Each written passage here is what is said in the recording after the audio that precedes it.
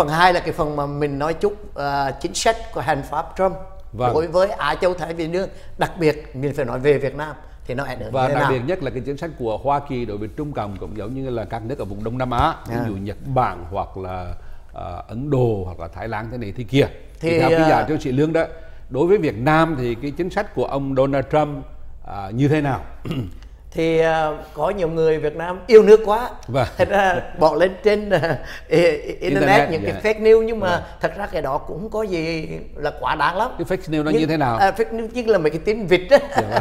tin vịt chịu nói là giống như là ông ông Trump là ông ấy cho rằng là Việt Cộng là kẻ hài lòng Phải không? Ờ, Đảng Cộng sản đó là cái thuộc đoàn chính trị rồi dơ bẩn rồi bị ổi mà thế giới văn minh đều khinh bỉ. nhưng mà thật không? sự thì ông Donald Trump không, nói có những cái điều vậy. đó dạ vâng. Không nói vậy cái này là mình nói Dạ vâng. là mình bức quá Dạ vâng. mình tức quá Dạ vâng. tức tức cái chế độ cộng sản như vậy nhưng mà giờ muốn cho không thì ông Donald Trump cũng phải có một cái chính sách đối với Việt Nam thì bây giờ nhưng mà ông đang lo những cái thứ khác ví dụ đang lo làm cái nồi cát không rồi ông đang lo đánh ví dụ là như là chủ họ, họ, đề cập tới uh, Việt Cộng xưa nay là cứ đi dây Dạ giữa vâng. hai thế lực đấy Nói, mấy anh không đi đi với tôi mà đi mấy anh đó là anh tàn đời anh. Cái điều đó có đúng tức Đúng. là là ở Việt Cộng nó không biết cái con đường chính nghĩa để nó đi. Không, thật sự hoặc nó lợi dụng được cái cơ hội thật mà sự rằng là Việt Cộng họ cũng mù mờ họ không biết thế giới ngày nay nó văn minh tới cỡ nào. Và những cái liên minh nó làm cái gì với không có cái nước nào cô đơn mà sống một mình được. Ấy. Dạ vâng. phải không có liên minh kinh tế thì liên minh quân sự không liên minh quân sự thì liên minh xã hội nhân quyền làm cái gì đó. Nhưng mà Việt Cộng thì nó không Vâng, có không sự cần. liên minh với ai hết không cả. có tại vì không biết. Dạ vâng. Mình là nhưng, ngu nhưng mà nếu không nói rằng nó nó bị lệ thuộc vào Trung Cộng quá nhiều. Thành thử chính vì vậy mà nó không nhìn ra được cái thực chất của chính mình và thực chất của cả thế giới phải không thưa tại vì thì nó là theo Dạ vâng. là an toàn. Vâng. trong lúc đó theo tàu chỉ cầm nước thôi. Vâng. Nước tàu thôi. Mà nước tàu đó là bị tất cả những nước khác đang trên đường black tất nhiên là nó bên đường bao vây. Không cần bị bao vây nữa. Vâng. ấn độ nhật bản singapore à, nhật à, à, à, nam, Nam triều Hàn. tiên rồi úc rồi đủ hết. Dạ. mỹ chỉ cần quắt tay cái là đất đồng minh đánh cho tôi đâu có đánh. Là khi nào mà đồng mỹ mà muốn đánh á không phải mỹ đánh đâu. Dạ vâng. không cần hàm đội số 3, số 7 của mỹ tới đánh đâu. Vâng. hàm đội số 3, số mỹ là có thể tiêu diệt một nửa thế giới đó. Dạ vâng. Cái, Dạ cái vâng. hàm đội đó mà với nhưng mà trong cái trường hợp này ví dụ bây giờ mình đặt cái vấn đề ví dụ giữa Trung Cộng và Mỹ nó có một cái sự thay đổi nào đó nó có một cái sự khủng ờ, có cái sự khủng hoảng.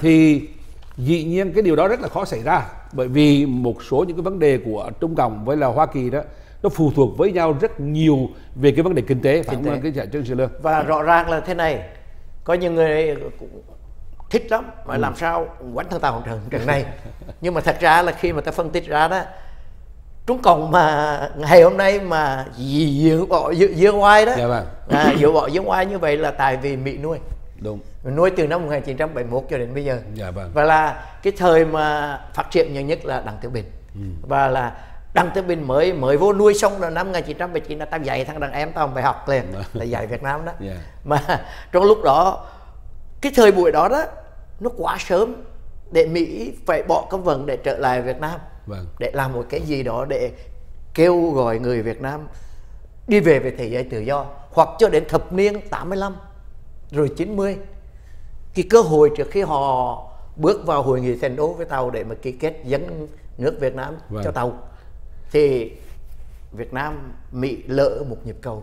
Tức là ý ký giả trương sĩ liên muốn nói là trong thời gian đó đáng lẽ ra là Hoa Kỳ đã phải để ý đến Việt Nam. À. phải ó ấp Việt Nam hay tạo một cơ hội nào đó để cân bằng cái cán cân lực lượng. Nhưng mà có thể là bởi vì cái nguồn lợi kinh tế đối với Trung Cộng nó quá lớn và cái sự liên hệ giữa Hoa Kỳ với Trung Cộng quá lớn. Mà trong mà mà trong trường hợp đó Hoa Kỳ phải cái, cái đó lỡ Việt Nam cái, ra. cái đó cũng đúng nữa cái thời kỳ tổng thống Reagan lên đó Vâng. thì năm 90 là 10 năm à 85 là 10 năm. Vâng. Ờ, 10 năm đó. 10 năm rất là quan trọng. Một cái mốc chít 10 năm đó Vâng. là cái roadmap của của ờ, Của Hoa Kỳ. thời của Hoa Kỳ thời của ông ông ông Reagan đó. Thì sau này ông ông Bush ông Bush bố lên cũng đi roadmap đó. Nhưng mà 10 năm thì Việt Nam mở cửa tù để Liên Hiệp Quốc vào, để Mỹ vào. À, thì họ bắt đầu có những cái trao đổi về vấn đề tù binh hoặc là nói cái này cái nọ thì người ta đó. nghĩ rằng thực sự ra mà nói là cái đó là vì vì Trung vì Việt Nam nó muốn sinh tồn Yeah. bởi vì lúc đó cái, cái kinh tế của Việt Nam nó đi đi vào cái đường bế tắc rồi Yeah. lúc đó là không- xin, xin lỗi xe hơi cũng có mà xe Honda cũng có nói tóm lại là không có gì cả là ăn bo bo mà thôi chưa có ăn bo bo chưa nữa, có ăn bo bo luôn. là thành thử trong cái trường hợp đó đó là sợ gì mà Việt Nam nó liên hiệp lại nó nó chịu khó với Hoa Kỳ là cái sự trường tồn cái sự tồn vong của của Việt Cộng nhưng mà người ta bảo rằng là Hoa Kỳ đã bỏ dở một cái cơ hội ít ra là dĩ nhiên là không giúp cho thằng Việt Nam được nhiều thứ nhưng mà đừng để nó xa vào trong cái quỹ đạo của Trung Cộng nhiều đó lắm tất nhiên là đó là một cái điều mà trước Hoa Kỳ à, phải- trước năm 1990 Yeah. tất nhiên là sau khi à, Trung Cộng bị Thiên An Môn rồi sau khi Nga sụp đổ rồi tất cả những nước Đông Âu là sụp đổ đó Vâng. là Mỹ không vào chụp Việt Nam liền trong lúc đó. Thì th- theo cái giả trương sĩ lương bây giờ trong cái hiện đại của ông Donald Trump đó thì cái cái cái cái cái tình hình đã học được những bài học như vậy thì ông Donald Trump cái cái cái cái, cái gọi là chính sách mới của Hoa Kỳ đối với Việt Nam nó sẽ như thế nào? Đối với Việt Nam Việt Nam là không có gì cả. Đúng rồi làm tại vì không. thứ nhất đó là cái bệnh của mấy anh chàng Việt Nam này là cái bệnh cứng đầu mà cái bệnh dạ, gián yeah. gián xạo giang xạo thôi chứ không có cái chính sách gì cả không có Không chính sách toàn quốc vừa gián xạo mà vừa không biết điều Dạ.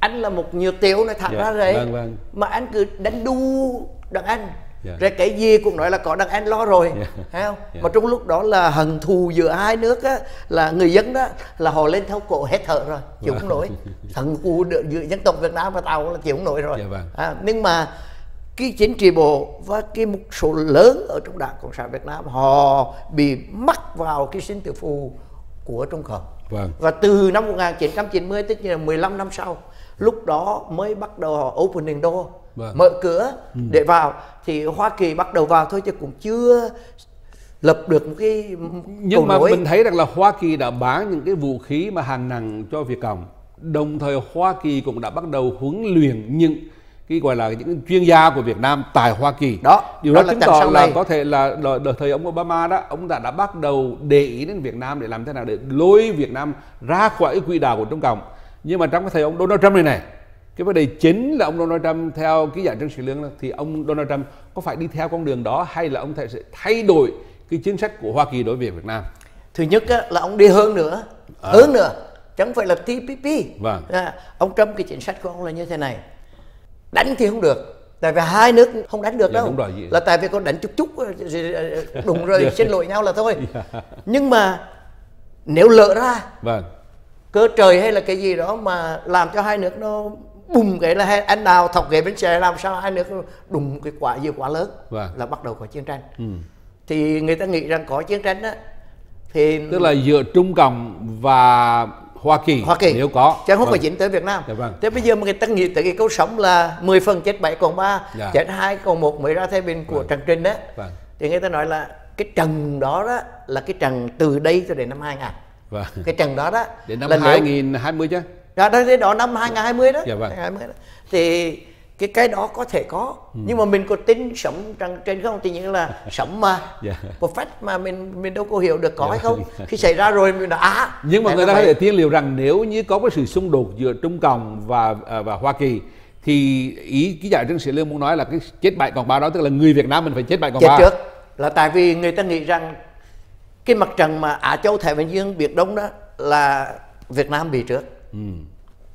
bom rơi đạn trước là Việt trước bên tàu nó có quân đội của nó khoảng trên 2 triệu quân vâng Việt Nam thì nghe nói là chắc cũng gần triệu vâng à, nó còn lại đó thì khi đó là nó ra lệnh cho Việt Cộng đánh đánh đánh Mỹ luôn Dạ vâng. Đánh Là Mỹ bởi luôn. vì ngày xưa nó đã tiếp tế cho Việt Cộng để đánh lại Hoa Kỳ trong cái cuộc Thế tranh của. Việt Nam. và bây giờ vẫn sai được đó là vẫn còn được. chứ đâu có phải vũ khí Hoa Kỳ nhiều Dạ, đâu vậy, vậy. đang còn training nó còn huấn luyện đâu cái đó nhưng mà Hoa Kỳ đó tôi nhớ không lầm thì cách đây năm bảy năm trước là có một cái bà cố vấn cho cái tòa đại sứ Việt Nam mà trong đó bà viết là nói rằng là 20 năm sau Ừ. thì cộng sản nó sẽ thay đổi Dạ. tất nhiên là tới năm 2030 cơ 2000 2030 đó Ừ. 2030 đó thì 2030 là cái trận đó nó qua rồi Yeah. và tại sao mà Mỹ và Tàu không đánh nhau Ừ. tại vì Mỹ Tàu không đánh nhau được là vì kinh tế Dạ, hai cái nước này nó có một sự liên hệ rất kinh tế rất là lớn lao ngay cả cái Yeah. Apple thôi đã Yeah. Apple sản xuất tại tại tại Trung Cộng đó mà Trung Cộng nó cấm một chút mà đã làm cho Apple nó bị bị thay đổi rất nhưng là mà nhiều hai cái nước này đó Dạ vâng. nó có những cái cái khúc mắc với nhau về vấn đề rất là nặng nề về kinh tế ừ. thành ra nó có mục tiêu của nó là nói tóm tắt đó thì rút ra được những điều thế này mục tiêu của Hoa Kỳ trong quan hệ ngoại giao với Bắc Kinh và nói chung là Bắc Kinh và Hoa, Hoa Tiền Ấn đó vâng, vâng. thì là cân bằng cán cân thương mại giữa Hoa Kỳ và Trung Cộng ừ. và đặc biệt đó là yêu cầu Trung Cộng tôn trọng nhân quyền đến mức độ mà thế giới có thể chấp nhận có được. thể chấp nhận bởi vì đó. thật sự ra mà nói là Trung Cộng mà chấp nhận nhân quyền thì cái đó là giống như bảo rằng là một cái con khỉ mà đừng có làm trò khỉ nữa yeah. thì nói tóm lại đó yeah. là Mỹ có thể đánh Trung Cộng không cái đó chỉ có trời biết vâng. nhưng mà tính đến hiện tại á thì nó có những cái đồng binh rục rặt ở bên kia xây mấy cái đảo san hô rồi xây dựng rồi cái đó thì chuyện là thường thôi. Yeah. nhưng mà Việt Nam có làm có làm bia đỡ đảng cho Trung Cộng hay không? Cái đó cũng phải xét lại. Thành từ cái chính sách của ông Donald Trump trong những thời gian sắp tới họ sẽ đặt với vấn đề Trung Cộng ưu tiên hơn là so với Việt Cộng. Nhưng mà nếu việc cầm một khôn ngoan đó thì họ có thể làm thế nào để lợi dụng cái cơ hội đó à. để đưa cái chính sách của mình đi vào trong cái đường lối của Hoa Kỳ để làm lời được cho đất nước của chúng ta tôi thì tôi nghĩ là làm sao để tránh được cái trận chiến này Việt Nam tránh được cái chiến này là phải có tự do dân cụ ra khỏi cái quỹ đạo của, của Trung Cộng khi đó mới là có mới hòa may dạ, vâng. xin lỗi quý vị là chúng ta có một cái vấn đề trước nay mình nói hoài là cộng đồng người Việt hải ngoại làm gì để bảo vệ Việt Nam vâng. mình có 4 triệu người rồi đó yeah. Dạ. là có cơ hội thì tuần tới chúng tôi uh, sẽ đặt cái vấn đề đó với uh, uh, anh em đài và quý khán giả dạ xin trân trọng. Kính chào quý vị.